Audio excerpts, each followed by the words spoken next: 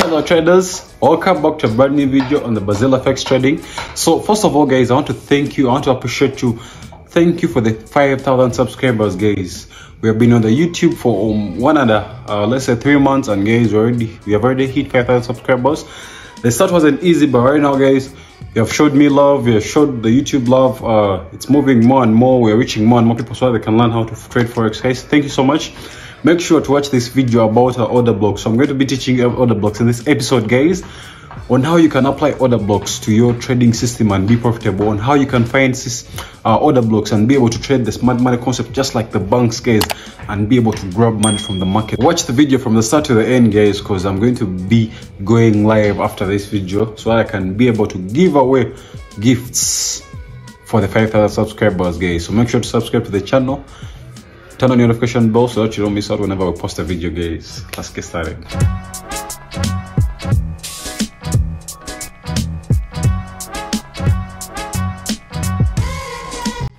So guys uh order blocks are very simple to use because order blocks trading order blocks is just like knowing how banks trade. It's because order blocks are zones where banks and institutional traders have filled in their positions so that when price ever comes back to that zone they will definitely take either buy sells or I mean they'll take buy trades or sell trades. So order blocks are very easy to use guys. But again, one thing you should know about order blocks, when we are using order blocks, we need to apply them only to bigger time frames. The reason for that is because uh, banks and institutional traders can never trade on smaller time frames like retail traders do. That's why you see 90% of retail traders fail in the market is because the, the oil is playing in you know the, in the small time frame, the one hour time frame and all that. But again, for someone who's trading, you want to trade like the banks, it has to be the big time frame, guys. So let's get started with this. So guys, for us to know how to use this indicator, we are going to be trading on the Nasdaq. We're going to be trading on the Nasdaq. So this is the daily time frame as you can see. We had a nice downtrend, you can see. We had nice downtrend. Now price is reversing to go back up. And then again, you can see even here, price has started coming down, you see. So I took a nice sell trade from here, but I'm going to show you how I took it by using an order block, guys. So what you want to do first is uh, come here, come to indicators here. When you come to indicators, you're going to search for order blocks. Just type in order blocks with signals. You see? Order blocks with signals. When you choose this, they're going to, it's going to appear like this. So most of the time, it like makes the screen look small. So what you want to do is come to your right hand side around these numbers here, then just scroll down like this, you see? When you scroll down, then these things will enlarge and then be, be, be, be of big size. Aha. So guys, as you can see, we already now have some order blocks here. So we have bearish order blocks and bullish order blocks. So bearish order blocks, this is how they look like. Aha. So this is how bearish order blocks look like, guys. So this is as you can see this is a bullish order block right here. We have a bullish order block there another one here. So bullish order block is where you know when price comes ever comes back there it will just go in for sells whenever price ever comes back in there it will just go in for sells so when you apply this to your TradingView you're going to see these two colors guys. You're going to see this this color this is this purple color which represents a bullish order block and then you also see this one that represents the bearish order block.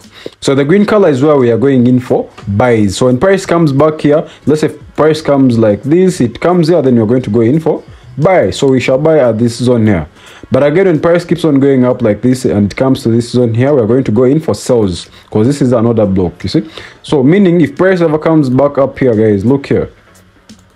If price ever comes back here up here it means we're going to go in for sales because this has an order block. Banks already have their orders filled in. So that when price comes back there they'll either buy or sell. So guys this is our order block finder. It helps you to find order blocks. You know when you're finding order blocks with your bare eyes sometimes it's hard. But again TradingView is a very good platform. Whatever you want here you just search it here. Any indicator they will give it to you there. So guys now let me explain to you how i was able to take a nice trade based off this order block. You see here I didn't just take a trade because I saw the order block there. No, guys. The order block is just a a bonus. You already need to have like your proper analysis. So the order block is just there to clarify that okay, your analysis is right.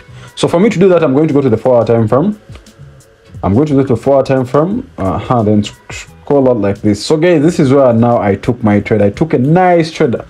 Guys, this was a very nice trade. I made uh I made uh 1,600 $51 on this trade. You see, I took a nice trade there. You see, so guys, for me to take trade there, I didn't just jump in because I saw an order block. No, guys. So first of all, I had to apply price action. Price action is nowhere you analyze this chart without using any indicator. You know, you analyze, you see how price is moving. So what I applied was what we call area 12. We applied, I applied what we call area 12. So for me to show you area 12 i'm first going to give you a little bit of uh i'm just going to give you a little bit of uh basics about area 12 so let me zoom to this clear space here. You see guys? So area 12 is very nice because it it's part of price action. It tells you where the next wave it helps you in counting waves. You know okay this is wave one this is wave two. So let me give you the basics of uh, waves. So we have what we call impulsive moves and then corrective moves. Impulsive moves those are, the ones i'm going to talk about today. Impulsive moves they give you a clear impulsive moves and then retracements. So this is where you're going to get clear higher highs and higher lows. So if price let's say price is in an uptrend we shall get this. You see? And then that's this is wave one then wave two then again we go in for wave three. You see guys? This is wave three and this is the longest wave guys. That's the longest wave. Then we have wave four that comes out also. So it's only wave one i mean wave two and wave uh, four that stick out. So so this has to at least re- retrace at least 38 or 50 percent of the the previous wave. And then this is then this is our last uh wave four. Uh wave five yeah. So guys this is what we have we have wave one. If for, for you to be able to count them you can just you choose come here and then choose area 12 1 2 3 4 5 so you'll be able to count them like let's say one, wave one this is wave one then wave two then wave three then wave four and then the last wave is wave five. So this is where now we shall see price you know reversing and then you know doing some other you know other stuff you know so this is how we, we count waves. So me when i'm counting these waves i know if i count okay this is wave one. You see guys if i count this is wave one and then i know this wave two then again wave three the longest. And again i see wave four coming in. You see? Then I, when i know now we are at wave five i know now price has reached like a, a strong zone. So i know when price reaches here it's going to either reverse or give us some you know consolidation. Then after i go down or go back up. So that's what we're going to have guys so this is how i took this trade guys. As i've given you this uh nice example about area 12 so so the current market is uh, nasdaq market. So price reached here and it failed to break there because we had an order block there. So that other block just looks the same like this. It just looks like this you see guys? It looks like that. So now price has reached there. It has broken. It has i mean failed to break here. So now it has just started coming back down you know giving us that nice impulsive move to the downside like this. So this is what that price did. It did something like this. See guys went back retested and then now it has come back down you see? Okay this is just a basic of area 12 this is just a basic. These are just basics. You see guys this is something that uh, this is what like price has tried to give us. This is what we have you see? So guys let me jump now. Let me jump back to my current market chart and then show you the same thing now on a real market let me show you now the real thing on the real market so let me make this clear. Huh. so guys this was our market as you can see. You see? So what i'm first going to do i'm going to draw my trend lines. I love to play around with the trend lines. I love to play around with the trend lines. Like this. So these are my trend lines as you can see so I'll bring this more down like this. So that's my first trend line. Then I'll just uh, come here choose another one. You know I love to work with the channel. I don't just I don't just want to have one trend line. I always like to work with the channel. So this is what I had guys as you can see. A nice uptrend market. So how do we count the waves? As I told you just come here and, and select area 12 1 to 1 to 3 to 5 see? So this is wave 1 you see guys let me first see huh. So you see guys this is why now we start counting these waves from. From here you see wave 1 that's the my wave 1 so what i want to do is come here choose that. Then i'll start from here wave 1 this is wave 1 there. Then wave 2 is down here guys. Look down here 2 uh-huh. then the longest is wave 3 you see then wave 4 is the, the one that sticks out. And then the last wave the last wave is wave 5 you see it's up here. The king this is where now price reverses you see guys i had a nice wave. So the reason why i'm telling about area 12 is just it's not just because uh i just want to tell you about area 12 the reason is because you need to first apply price action onto your chart before you, you applying the order block finder. Because when you apply the order block finder when you already have your analysis laid out like this you see? When you already have your analysis laid out like this the order block finder is just going to give you a bonus you see? It's just going to give you a bonus. So what did i have here? I already had price you know reaching at a, a major zone. This is a major zone. Price wouldn't go any further beyond that. It's because we had an order block there. And if you want to see where the order block is you just scroll this side you see guys? Just scroll this side and then you see. You see this this big gap so this is where the order block the current order block is. You see? This is our bullish order block and remember i told you a bullish order block that's where sellers selling sellers selling pressure or that's where the banks and the traders are going to place in their traders their trades to sell. You see that's now my order block right there. So and this order block it came uh this was april. This is was the 22nd of april. But now guys look after just a just just after some months price comes back to the same zone you see? Price comes back to the same zone. Yeah this looks clear. You see now price comes back to the same zone there.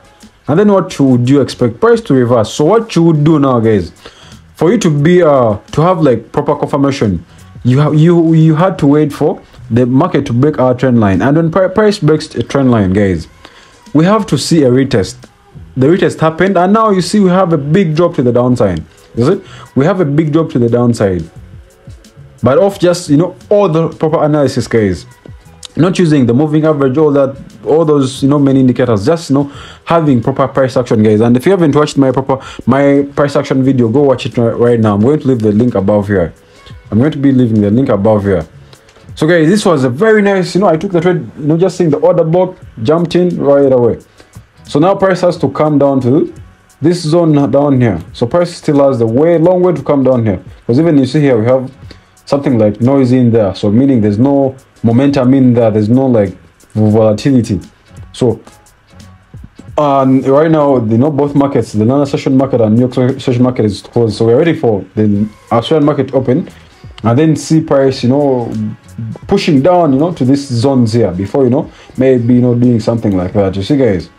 So this was a very nice guys order block finder ever since i started using this indicator. Like i've had a very winning percentage you know? I've had a very winning ratio rate. So guys if you have enjoyed this video guys make sure to uh, check out uh, all my other videos about order blocks. And i'm going to be bringing more and more. My next video guys is going to be about impulsive moves or what we call area 12 guys. So i'm going to i'm going to be explaining it in depth so that you can understand it. I'm going and i'm going to be explaining it on multiple charts guys. So guys make sure to subscribe to this channel. And don't forget to turn on notification bell so that you don't miss out on our weekly videos. Guys i'll see you in my next video. Peace